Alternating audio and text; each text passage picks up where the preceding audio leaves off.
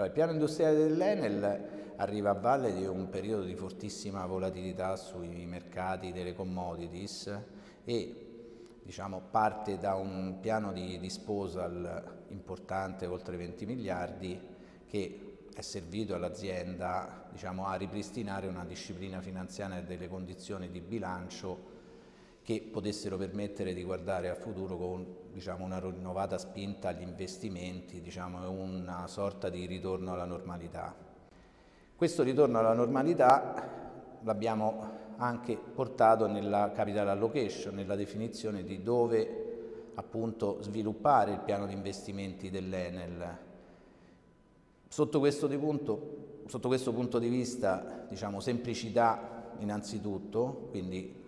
gli investimenti vengono allocati dove ci sono dei ritorni importanti, parliamo spesso di 300 basis point, ma questo serve a dare un'idea appunto di un valore, di una regola abbastanza fissa che fa parte di questa disciplina finanziaria di cui parlavo.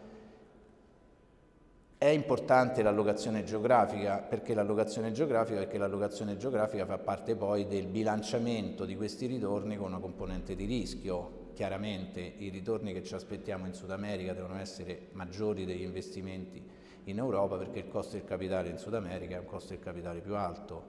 Altro elemento importante è bilanciare la generazione di cassa con gli investimenti. In passato l'Enel ha fatto fortissimi investimenti nelle Americhe per favorire l'espansione internazionale e la presenza internazionale.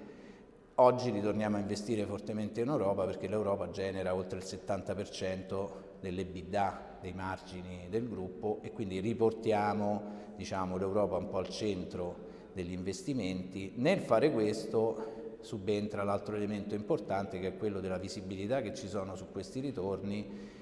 e la necessità di investire nelle reti sia per un tema di resilienza sia nuovamente per un tema che la regolamentazione che hanno le reti permette di avere una predictability, come si dice nel mondo anglosassone, sul ritorno di questi investimenti che chiaramente è molto più forte rispetto a un investimento di mercato come spesso sono investimenti negli impianti rinnovabili. In tal senso per quantificare questi investimenti e dare delle proporzioni, noi come dicevo oltre il 70% degli investimenti li faremo in, in, Europa, nel mondo delle reti stiamo aumentando gli investimenti del 50% in Italia,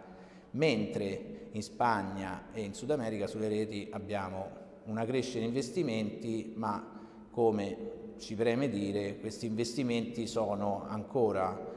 in una fase iniziale di sviluppo perché ci attendiamo di avere quello stesso livello di visibilità che stiamo avendo nel mercato italiano. I colloqui e le discussioni con il regolatore stanno portando i frutti sperati che sono quelli di avere diciamo, una meccanismo di riconoscimento, una premialità, come viene chiamata anche nel settore, sugli incentivi agli investimenti che ci consentano appunto di avere quel ritorno degli investimenti garantito da una remunerazione del, del capitale investito che sia visibile perché in tante altre situazioni, in tanti altri scenari questi investimenti invece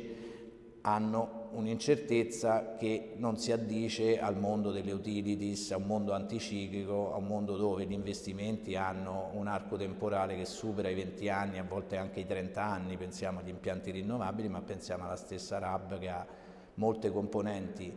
eh, di ammortamento che vanno, appunto, raggiungono i 30 anni.